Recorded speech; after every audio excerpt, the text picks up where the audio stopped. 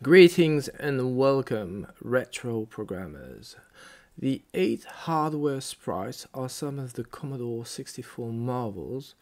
You can multiplex these sprites all over the screen. You can use a single sprite to make an animation. You can also use them to scroll a text all over the screen instead of using the screen memory.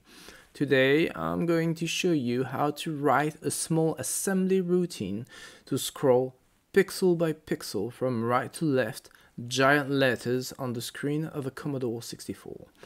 The trick lies on seven expanded sprites with the same Y position, but with a different X position.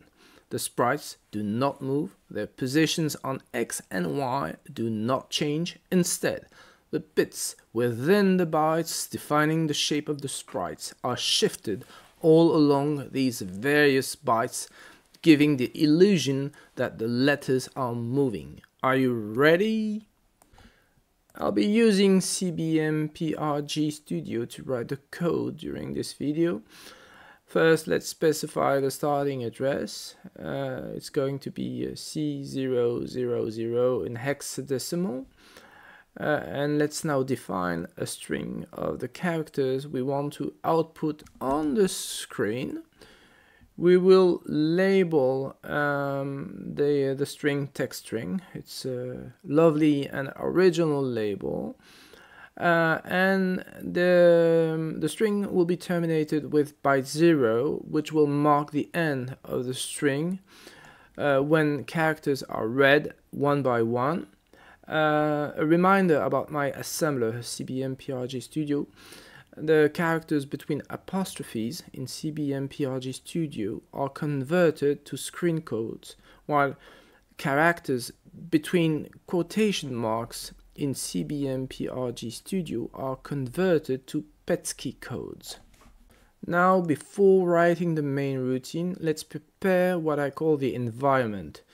We will disable the basic and KERNAL ROMs. Uh, also, we will disable the CIA interrupt timers through the following set of instructions.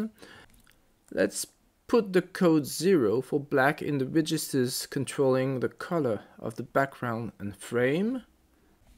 We need 7 sprites for the scroller, therefore we need to define the value of the 7 sprite pointers for those sprites, which will be sprite 0 to 6. The pointer's value sets the starting address of the 63 bytes used for shaping each sprite.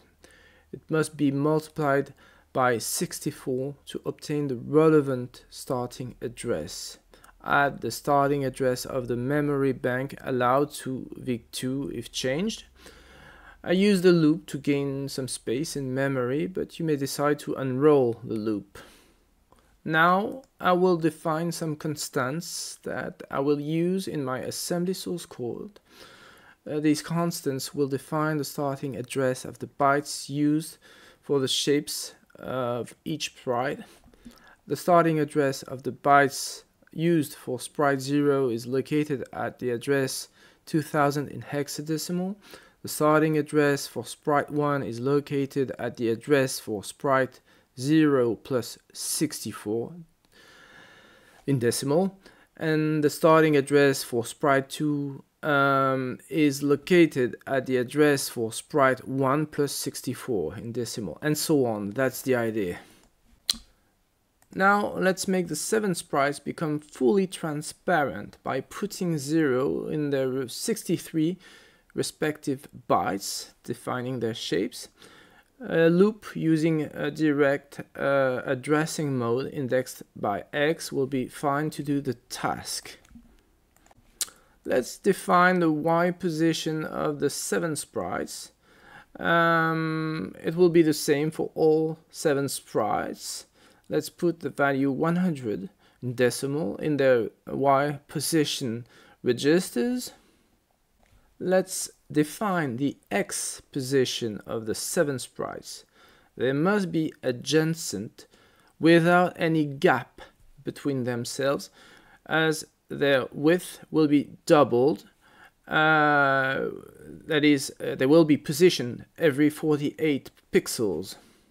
Let's define the x position over 255 of sprites 6 and 7. Let's define the color of the 7 sprites.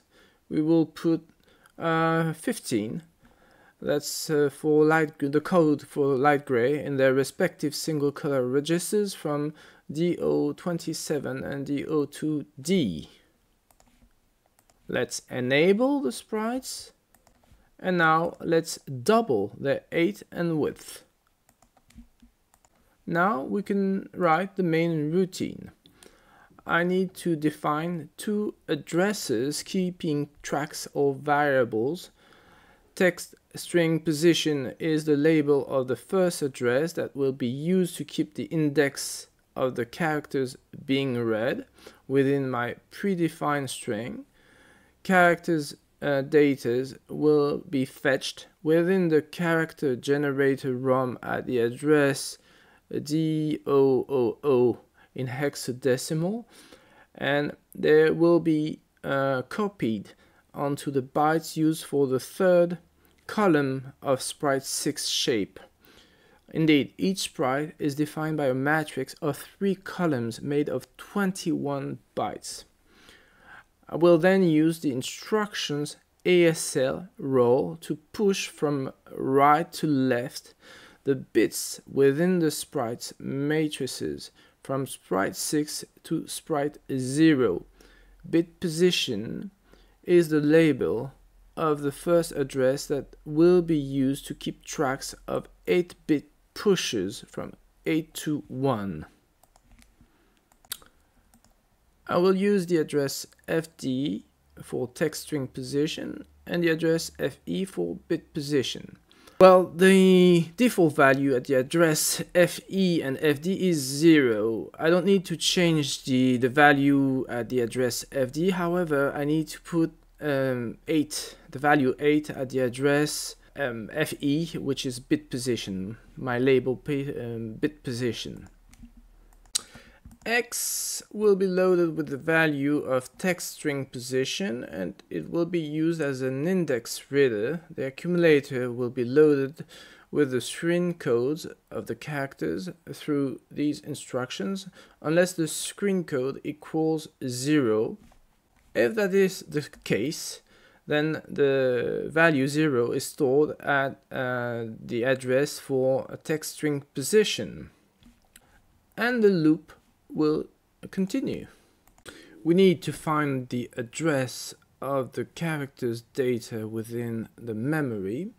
We must parallelly multiply the screen code in the accumulator by 8 and then add the result to the value D000 which is the address of the character's uh, generator ROM. The result will be placed at the address FB for the low byte and the address uh, FC for the high byte.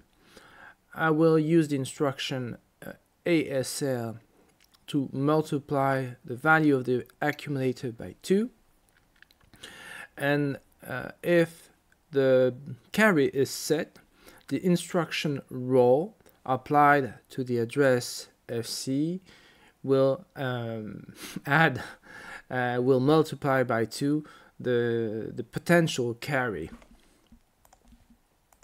Now let's change the value at the address uh, 1 which is a 6510 uh, register.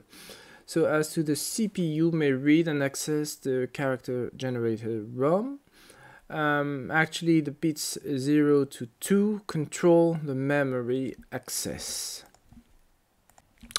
Addresses at uh, FB and FC now hold a pointer to the starting address of the character's data Let's place the character's data in the bytes of the third column of sprite 6. That's the addresses of uh, sprite 6 plus 2, uh, sprite 6 plus 5, and sprite 6 plus 8.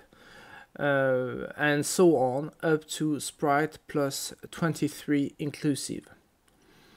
Um, but first, let's define the address for uh, sprite 6 plus 2. It will be our base address. I'm using a loop with a self-modifying code. Uh, my constant third byte address sp6 is modified um, until uh, the value, uh, uh, the, the Y register uh, reaches the value 8 and then the, uh, the routine, well, the part of the routine will uh, again modify the constant third byte address sp6 to um, give the initial value back. Instead of using self-modifying code, you may prefer to unroll the loop. Uh, it will be longer, but you, you will gain some cycles.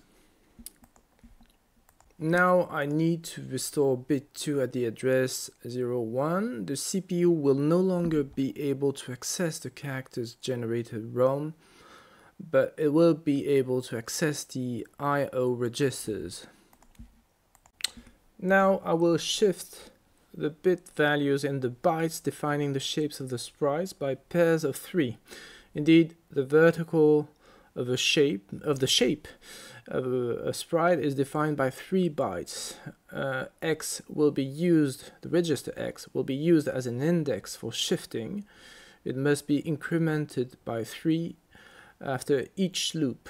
The 8 of a character is 8. Therefore, if multiplied by 3, that gives us 24 shifts. Now, let's add a rest, raster waiting loop to add some smoothness and prevent any uh, jittering. Let's decrement the bit position and loop until a character has been shifted completely from right to left. Value 8, which is the number of bits of a character, was initially placed at bit position. We can add some change in the colors of the sprites and then uh, the, the terminate the the routine by this instruction JMP and return to the address main. Now let's try.